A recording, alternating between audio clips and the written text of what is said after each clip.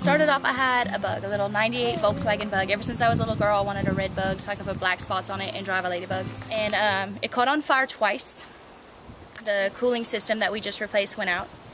And by June it just completely died. They told us it was going to be between six and seven thousand to get the engine fixed the way it needed to be fixed. That basically they were going to have to replace everything under the hood because this had melted and this had broken and this had fallen into pieces and it fell into that and this knocked over that and it was just like the domino effect of death into my engine. She had this red uh, car that was made like a little beat a ladybug and, and, it was her. She loved that little car and it finally uh, died and so she uh, sold it for junk and one day she was at Walmart and she found her car in the parking lot. And she was so upset about it, she actually took a picture of it and she started to cry because she was so mad that they actually fixed her car and gave her nothing for it. And they fixed it and it's on the road and they even left little dots all over it. Tony had a 2002 Corolla with about 300,000 miles on it. And uh, we, we use that for everything. And in the summer it was fine because in the summer usually I only have like a week here of class or a week there of class because I just do my summer school stuff. But I don't necessarily have to have a vehicle. I can walk to wherever I need to walk to. Tony would drop off the baby in the morning, do his insurance thing, and bring home the baby at night. But when school started, you know, it was this thing like, Bradley wants to do after school sports. I'm sorry, you can't, because I can't take you to the games on Saturdays, because Daddy has to work sometimes on Saturdays.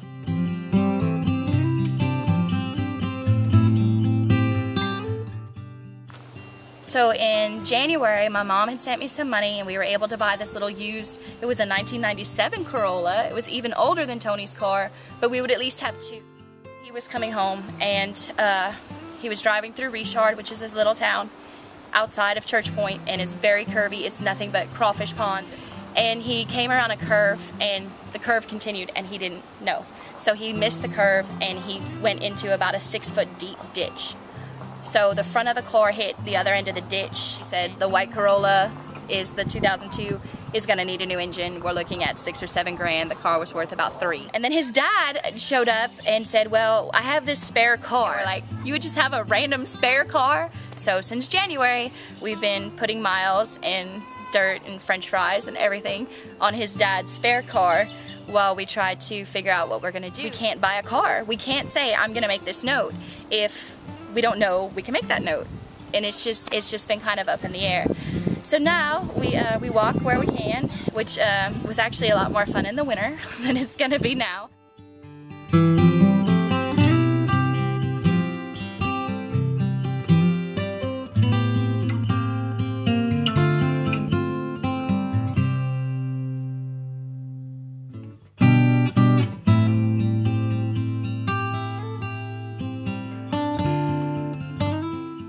Financially, it's, it's, you know it's been a struggle, but you know we still still try to have a good time, play games with kids, find stuff to do that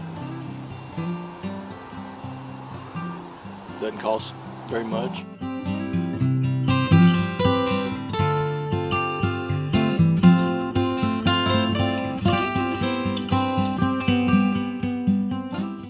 Oil is everything down here don't work directly for you know one of the oil companies. You work for somebody that's dependent on the oil industry.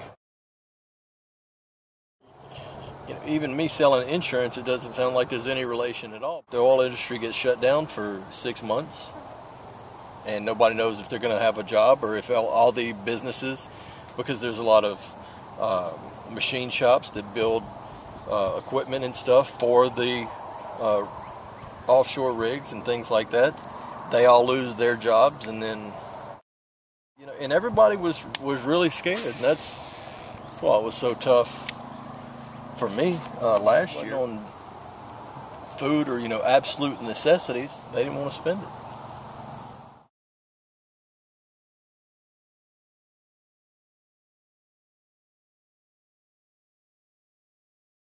I heard a crash and the whole house shook and I honestly thought a car had just gone off the road and run into the house because it was so loud it shook the house so bad. Right after the crash and the shaking I heard just glass breaking and then I heard the baby screaming. So I got up, I ran in the next room because I'm right next to the baby. And the branches of a tree had come in through the window. And there was no storm, no wind, nothing at all going on that night. So I get up, I get the baby. I didn't even put shoes on. I didn't even realize I didn't have shoes on until we were outside. I got out the front door to see what had happened, and the rest of the tree is on the porch. And all you can see from the whole front side of the house is just tree.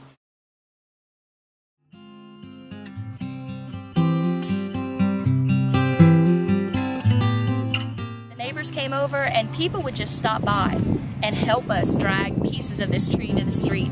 And then um, the next day, a truck stopped and said, well, What are y'all going to do with the wood? And Tony was like, I don't care what happens to the wood. I just want it off my house. And so they hooked two different trucks with chains to pull it off the side of the house. One of my students, her dad is the glass man in town, and he's helped us before with other things. And he was already at my house fixing the window and would not give me a bill. Like I went by the next day, I said, Greg, I know you came by and fixed my window you know, I need you to give me an invoice and, you know, we'll pay it, we'll put it under insurance if we have to, whatever. And he was like, oh no, that was a freak accident. It wasn't even storming. Don't worry about it. I had extra glass in the back from an old house that was torn down. But people just kind of came together and were like, oh, there's a tree on your house. How can we help?